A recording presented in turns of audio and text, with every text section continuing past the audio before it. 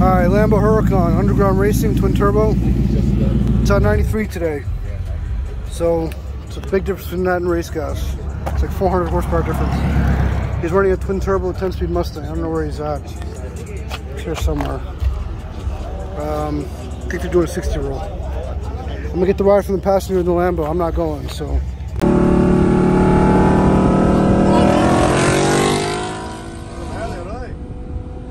Dale.